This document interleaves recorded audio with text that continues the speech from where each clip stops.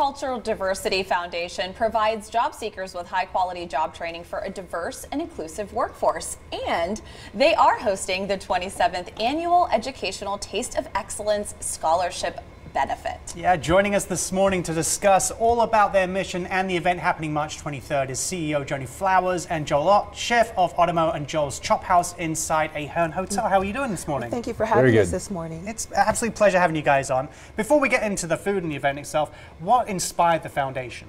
I started it 27 years ago, and the inspiration was being able to, to provide scholarship opportunities uh, for high school seniors and currently enrolled college students.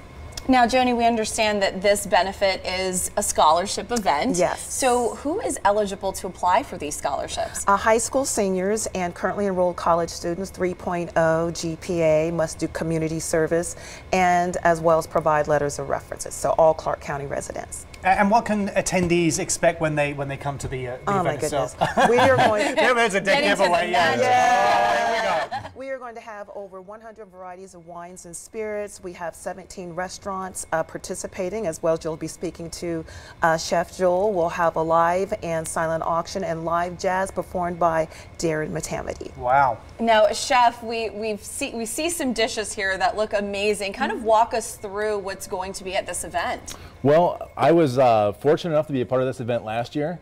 Uh, at the Ahern Hotel, we had our restaurant Otomo open, uh, which is kind of our Italian uh, food, pizza, pasta, things like that. Now, last year we had another grand opening of our signature restaurant at the hotel, which is Joel's Chop House.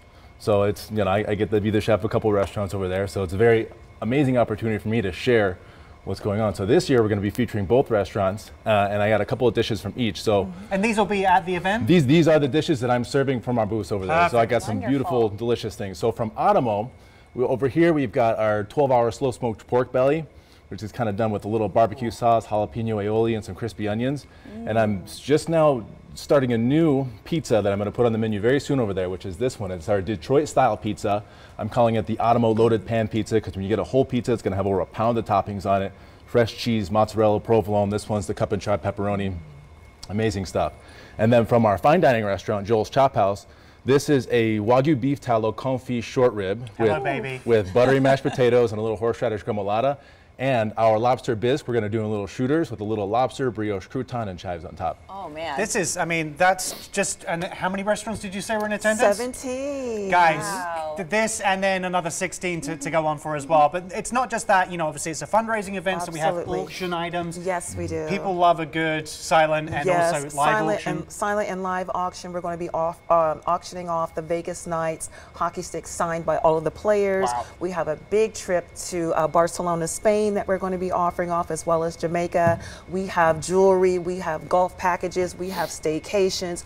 Everything for everyone who wants to participate. you guys have done this before. Yes, 27 years. yes, that's right. That's right.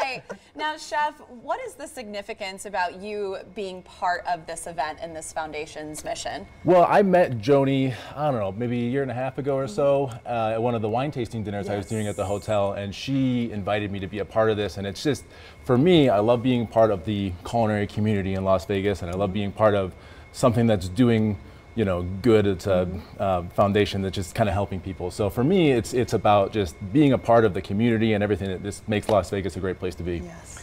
That's the other thing is, is you know the connection, the community connection, and uh, seeing everyone come together.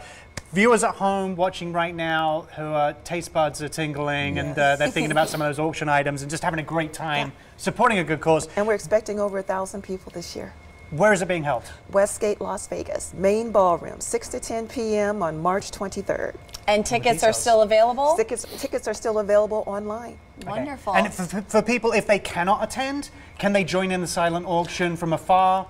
Elliott, that's an excellent question. Thank you. It is going to be online. It's going live and, and actually next week. And so you can bid online and not have to be at the event. Because those things are sometimes really fun because you know not I'm guessing probably not the VGK hockey sticks, but Mm-hmm. other items you might be you know you guys at home might love, and you can make a bid on it, keep an eye on it, and someone else might not be bidding on it. That's right. Trip to Barcelona though, that's going to be. Uh, it's going to be awesome. Joni, what do you love about seeing the community come together for something like this? For me, I have the community coming together number one, it's in celebration of diversity, it's supporting our scholarship recipients, and it's also an opportunity for the community to come out and do some networking and just enjoying wine, spirits, and jazz. Well, if this Yes. is a taste of what's to come, then everyone should be getting excited. And if, guys, you want to get tickets and for all other information on the Cultural Diversity Foundation, be sure to visit cdfnv.org.